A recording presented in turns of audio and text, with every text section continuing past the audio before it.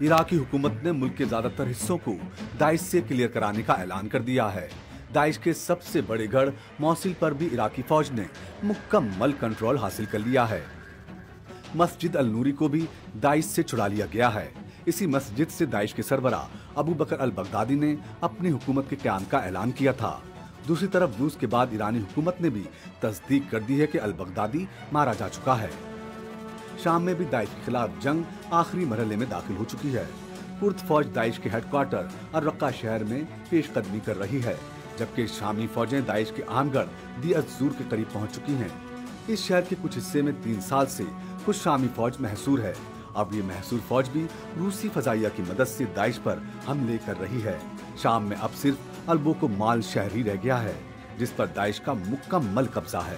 اس کے علاوہ عراق اور شام کے بہت سے دیہات پر بھی داعش کا کنٹرول ہے۔ تاہم، یہ بہت چھوٹا علاقہ بھی داعش کے ہاتھ سے نکل رہا ہے۔ داعش کے جنگجو آخری حربے کے طور پر ٹینکوں اور خود کش حملہ آوروں کا بے دریغ استعمال کر رہے ہیں، لیکن انہیں کامیابی نہیں مل رہی۔ اشنات آپ ماہر ہیں بین الاقوامی امور، بہت بہت شکریہ۔ یہ بتائیے کہ کہ موصل سمیت ہر جگہ پر داعش کو شکست ہو رہی ہے۔ تو اس کا یہ مطلب لیا جائے کہ اب داعش اور اس کے نظریے کا مکمل خاتمہ ہو جائے گا۔ کہ تین سال پہلے داعش نے اپنے قدم جمائے تھے شام میں بھی اور عراق میں بھی۔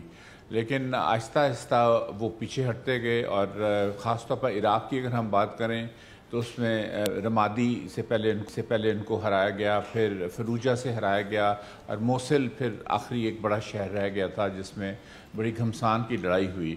لیکن آخر کار ان کو وہاں پہ شکست ہوئی جس میں ایرانی دستوں کا بہت بڑا ہاتھ ہے۔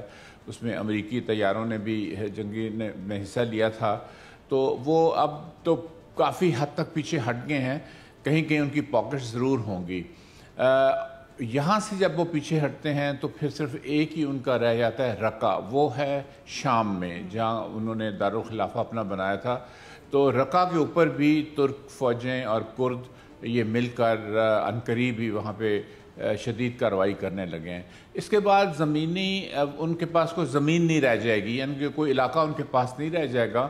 البتہ کہیں کہیں پاکٹس ضرور ہوں گی کچھ عرصہ قبل اگر البغدادی کی ہلاکت کی خبریں آئی تھیں اب روس کے بعد ایران نے بھی ان خبروں کی تصدیق کر دی ہے۔ تو اس کا مطلب یہ سمجھا جائے کہ داعش کا حقیقی طور پر اب وجود نہیں رہا۔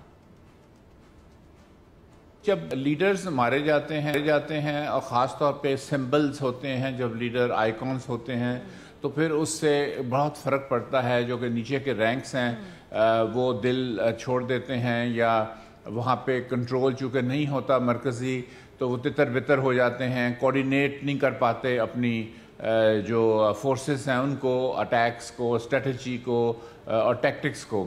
تو اس لیے اگر تو ان کے جو لیڈر ہیں بغدادی صاحب، وہ مارے جا چکے ہیں جنگ میں، جس طرح یہ کہا جا رہا ہے، چونکہ وہ نمایاں نہیں ہیں، سامنے نہیں آ رہے، تو خیال کیا جا رہا ہے، تو پھر اس سے تو بالکل داعش ختم ہو جائے گی۔ اگر وہ نہ بھی مارے جائیں تو پھر بھی نیچے تک اتنی وہاں پہ ان کو شکست ہو چکی ہے اچھا، اور اتنی ان کی کہ داعش کے بعد کیا شام اور مشرق وسطی میں جو جاری خون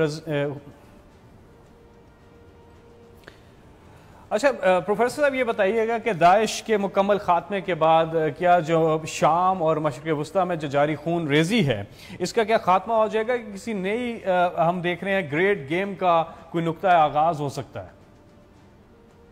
دیکھیے داعش جس طرح ختم ہو جس طرح ختم ہو رہی ہے اور ہمیں لگ رہا ہے کہ علاقہ بہت سا ان سے لے لیا گیا ہے اور اور وہ کافی سپائی کی طرف جا رہے ہیں۔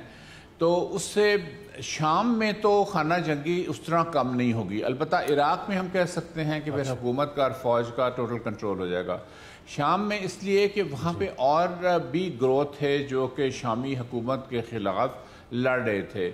یہ تو ان کی لڑائی کی وجہ سے ایک خلا پیدا ہوا جس سے داعش پہلے القاعدہ والے آئے پھر القاعدہ کی ایک شاخ نکلی جس کو ہم داعش کہتے ہیں۔ اور انہوں نے بھی اس جنگ میں حصہ لینا شروع کر دیا چونکہ سب سے زیادہ منظم وہ تھے۔ بہت اہم نقطہ چنار میں قبائلی عمائدین سے ملاقات کے دوران آرمی چیف نے یہ کہا کہ پاک افغان سرحد کے ساتھ داعش قدم جما رہی ہے۔ تو کیا ہم اس کا مطلب یہ لیں کہ داعش شام سے اب افغانستان منتقل ہو رہی ہے؟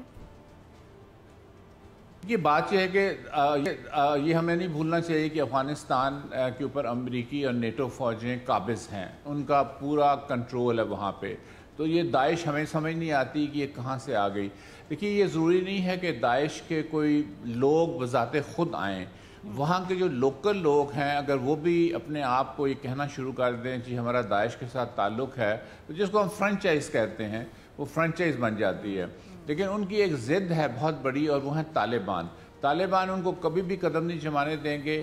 البتہ اگر امریکن طالبان کو مارنا بند کریں ان کے ساتھ مذاکرات کریں ان کے ساتھ بات چیت کریں ایک میز کے اوپر بیٹھیں تو پھر طالبان بہت بہت شکریہ بہت بہت شکریہ۔